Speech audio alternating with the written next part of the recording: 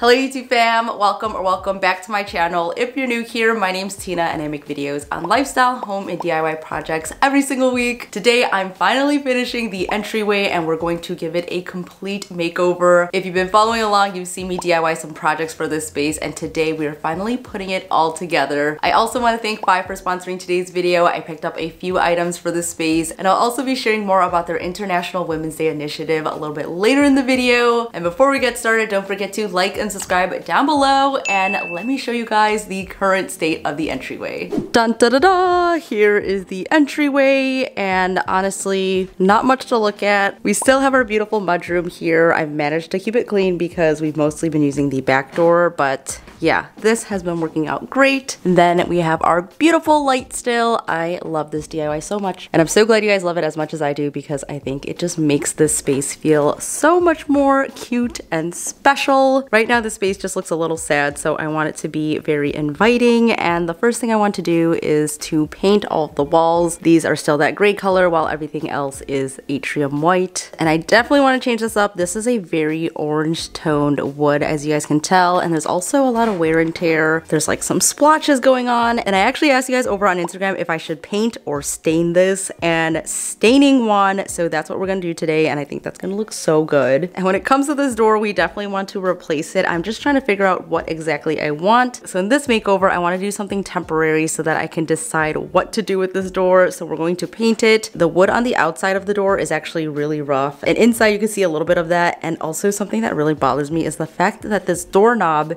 is off-centered from that. So I don't know, that just doesn't look right to me. So yes, this will be going, but for now we're going to keep her and make her a little cuter. And one last thing, someone asked what this was in the entryway and it's for our mail. So it's this little door and the mailman puts the mail in here. But yeah, this needs to change as well. To get started, I'm prepping the area by taping off my mudroom because I do not want any paint or dust to get in there. And then I'm also going to remove nails and fill in holes.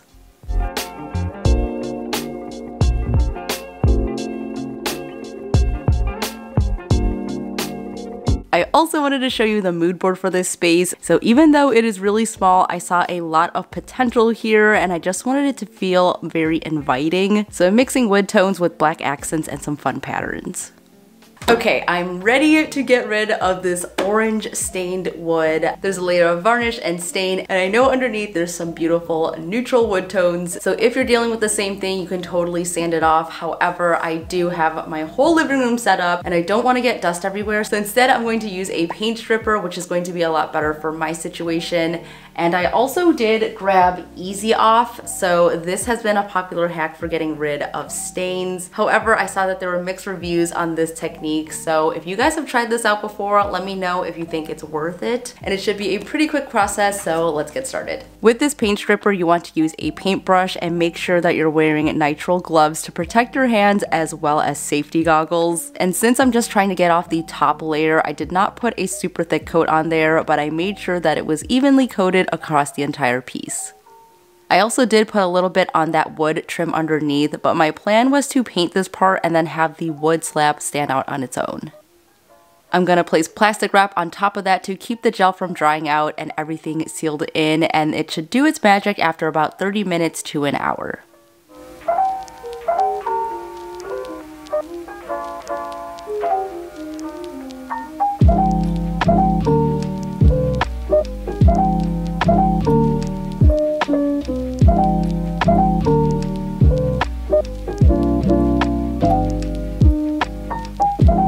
So while we wait for that to dry, I wanted to show you guys some of the pieces that I picked up from Fy for the entryway. You guys know that I love Fy and I'm excited to partner up with them this month for their International Women's Day campaign. I've used a lot of their pieces for previous makeovers on my channel, but if you're not familiar with them, they're basically an online shop and an app with thousands of items from brands for your home. And one thing that I really love about shopping on Fy is that when you buy an item, you are supporting a small business. So all of their pieces are made by independent artists and small business owners, and they're seriously so much to choose from, from their prints to rugs to home decor. And in case you didn't know, International Women's Day is this Tuesday on March 8th. It is a global day of recognition for social, economic, cultural, and political achievements of women. And I think it's super important to celebrate, especially being a woman myself. And this year, Fy is partnering up with Women for Women International again to donate five pounds from each framed print sale. And all the proceeds go to aid women across the world. There are so many pieces to choose from. Each of these pieces are made by a diverse group of talented women and I love every single one of them. It was definitely hard to choose from this collection, but I did pick up this one from Maggie Stevenson and if this style looks familiar to you, you might recognize her work from right behind me. So I thought this was just the perfect piece to give my space a little bit of a refresh. This one is called Womanhood and it comes in two different colors. So I picked up this one in terracotta and I think it's so beautiful. I'm gonna hang this right behind me and if you guys wanna check it out and support the cause as well, I'll put the link down below. And for this makeover, I did want to keep the decor kind of minimal because we have a lot going on in such a small space. And one of the first pieces I picked up is this one. Oh my god, I love it so much. This is by Cosmo Living from Fy and I love the shape of it. They have so many different ones to choose from and this is just so unique. I love the little speckling that's going on as well. It's just so, so gorgeous. I can't wait to style it. And I'll definitely link this as well as some of my other pieces from Fy in the description box down below. And next up, we have a mirror. So this one is a classic round mirror. My room's really messy, so please don't look at that. But this is just brass and it comes in a bunch of different colors so I think this is going to be perfect. I did grab a couple of different mirror options so I think this is going to be a really good one whether it's for the entryway or maybe a different room. And then lastly I was so surprised to see this on Fy but they have a shop on there that carries live plants so of course I had to grab one. I got this tiny little ZZ. It is just so cute. It came with the pot which is perfect and if you're a beginner to plants this is a great one because it is virtually unkillable. I think this is gonna work well for the entryway because it doesn't get a lot of light. So this is just gonna be so cute. So that's everything that I got from Fy. Don't forget to shop the International Women's Day collection and support the cause. All the info will be in my description box for you guys to shop. And now I think everything should be dry, so it's time to paint. It's been a couple of hours and you can already see that the wood has changed colors. This looks really promising, so let's see what color we're gonna get.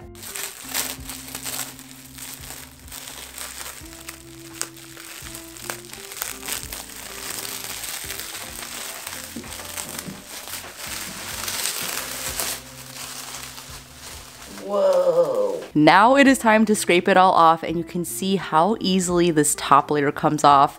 This step was seriously so satisfying to me and I could already see that the wood underneath was looking really good.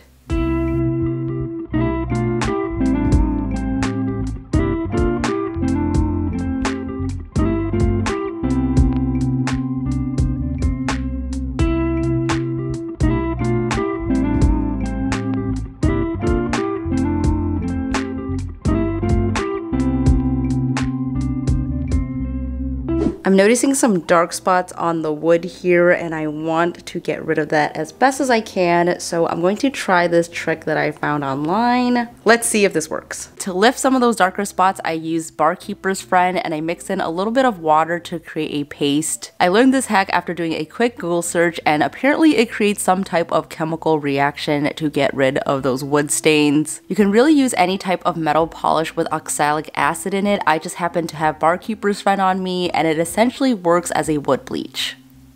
After that's all on there, I'm to let it dry for about 30 minutes.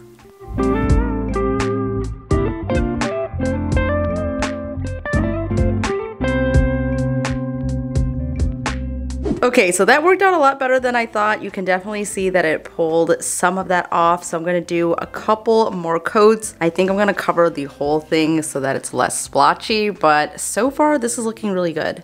So seeing that this was lifting the wood so well, I decided to put it on the entire piece just to even out the tone and I did a thin layer the second time around. I just let that sit for another 30 minutes and then scraped it all off and I think it was looking so, so good. You can totally repeat this a couple more times, but I think after the second time, it was good to go. So for this wall, I really wanted it to be a feature wall and I wanted something subtle that wouldn't clash with the black walls over here and then with the door and the lights, I feel like there's a lot going on. So I landed on doing picture frame molding and I think this is gonna look perfect in here. I have all of my molding right over here. Okay. And I just went online and used a calculator to figure out all the measurements. Before I cut all these, I'm going to plan it out on the wall to make sure that we have it just right. So for my wall, I'm leaving five and a half inches from the edge and also in between each of the frames. And that calculator that I used was just so helpful in laying out all the measurements. This way I knew exactly where I needed to draw each one of my marks so that everything was evenly spaced out. I used a level to make sure that everything was nice and straight and I did want to make a note that my walls are a little curved so instead of going with a wall which was totally not straight I just went with the level and this helped out a ton. Okay, I think this is better. We have all the spacing and my only concern is that my walls are not straight. So what I want to do first is actually just to cut out all the vertical pieces. That way we can make sure that looks good and that all of the horizontal pieces will fit perfectly. Before I start any cuts, I'm going to draw a diagonal line to indicate which way the angle should be cut. This is especially important to make sure that all the grooves match up. This way there's no confusion and you don't waste any wood. And I'm basically just gonna cut them all off at that angle. So for my walls, the vertical trim is 80 inches, and when I cut these mitered edges, I'm measuring it from the outside angle to make sure that I get the longest side to match up with our measurements.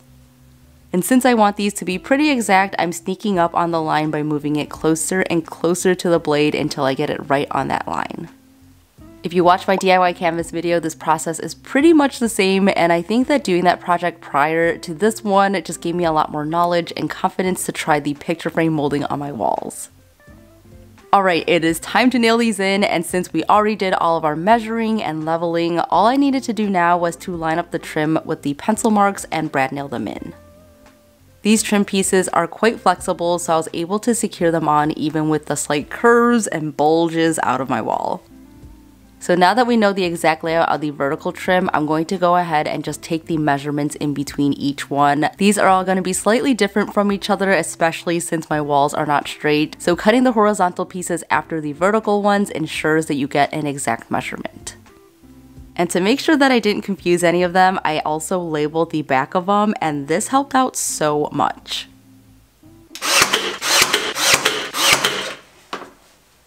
Okay, we're like nowhere near done, but look! Ah, it is so good. And I even love how this white looks against the gray. So if you were to do picture frame molding, that is a really cool idea. It just makes the space feel so much taller, especially when I step back. Ah, love it. Like I mentioned before, my walls are not perfectly straight. So if you look right here, you could see there's a bigger gap. So I'm gonna put one more nail right here. That way it sits a little bit closer and looks more even.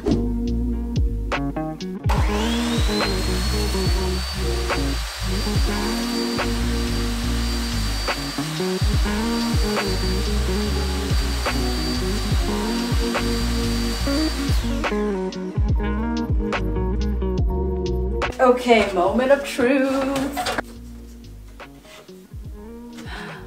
Yay, it's perfect, it's perfect. Oh, yes. Oh, that looks so good. Wait, I need to sand that.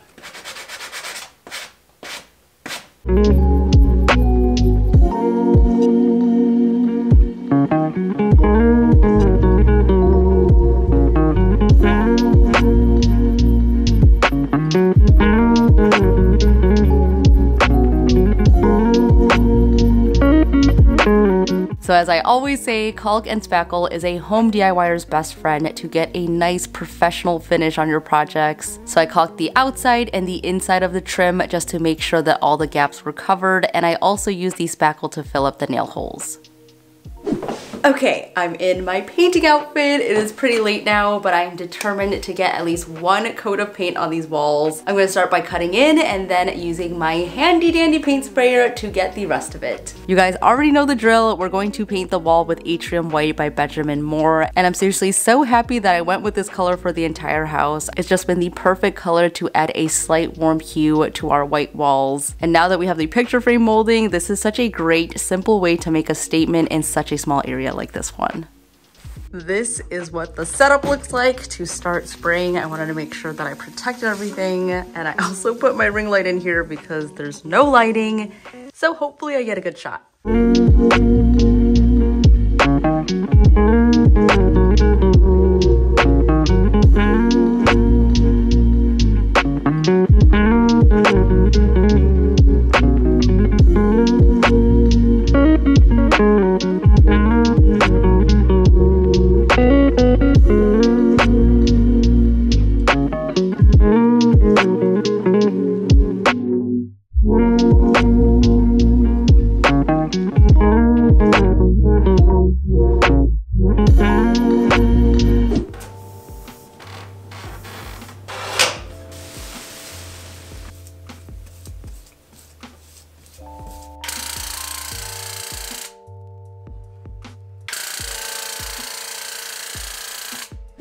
Saw that this morning I finished the wall and I think it's looking so good in here. And today is another painting and staining day. So we're going to finally change up this wall. I just sanded it down a little bit and I hope no one comes for me in the comments, but I am not going to prime the door just because we are going to be replacing it in a few months and hopefully even sooner than that, but I'm still trying to decide on a color. So I thought that I would test out a black door by painting this one behind me. That way I know for sure if I want to invest in a new door that is black. I'm just gonna paint it the same black that I have around my trim as well as my back door and I have a really good feeling about this. Okay, so this small quart of paint has lasted me quite a while and I've used it on my back door and also for my kitchen and living room windows and now for this project. So if you've been wanting to refresh a space on a budget, grab a quart of paint. This is such a quick and easy way to change things up without breaking the bank. And if you just wanted to refresh a door, a paint sample would be totally enough.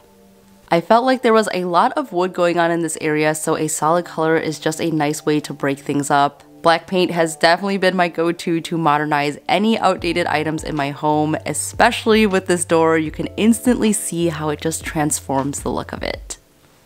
In case anyone was missing Brian with his blue shirt. Am I doing good, honey? Yes, look at that technique. Have I improved? I don't know about that, as long as you don't drip a little moment of appreciation for this wood. I think it's looking so, so good. We are prepped and ready to stain, so I'm going to use a wood conditioner first and then I'll go on top with our stain.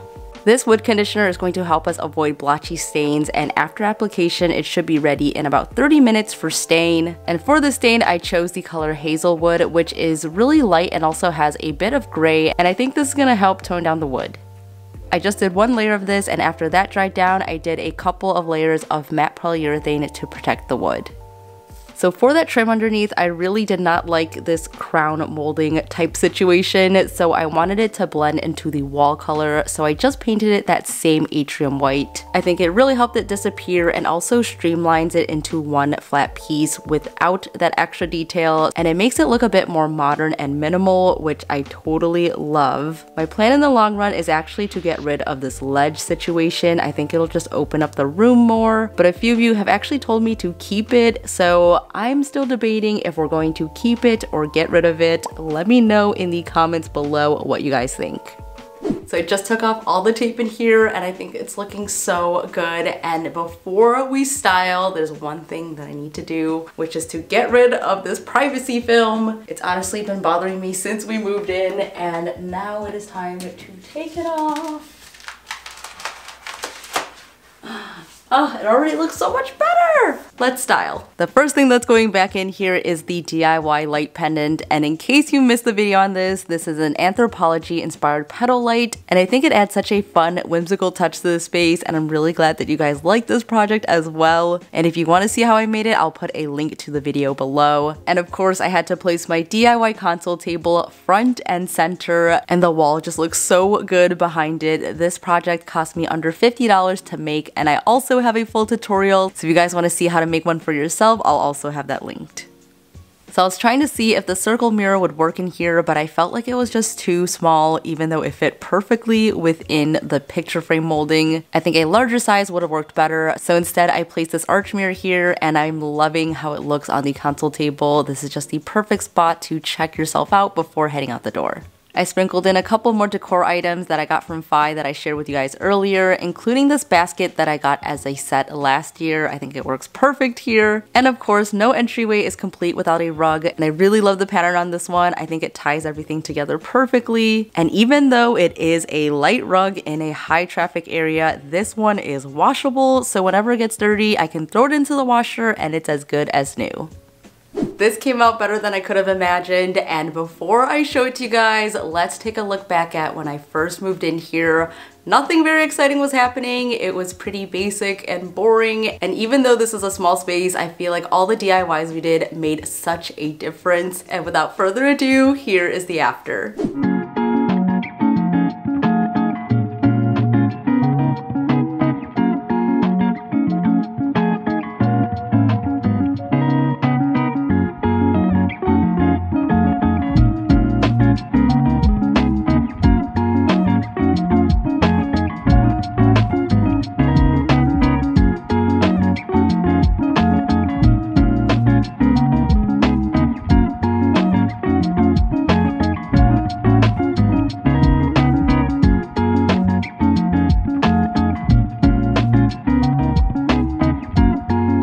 Finishing this entryway just makes our living room feel so much more complete and I am just in love with it and I hope you guys like it too. Let me know your thoughts in the comments below and which DIYs you guys like the best from this makeover. It's been so much fun sharing all these projects with you guys and seeing your feedback and I truly appreciate you tuning in every week. And again, a huge thank you to Fy for sponsoring today's video. Don't forget to check out their International Women's Day collection. All that info will be down below and if you guys want to see what I'm up to day to day, don't forget to follow me over on Instagram. I post on there basically every day. And that is it for me today. Thank you so much for watching. Stay inspired and I'll see you in the next one. Bye!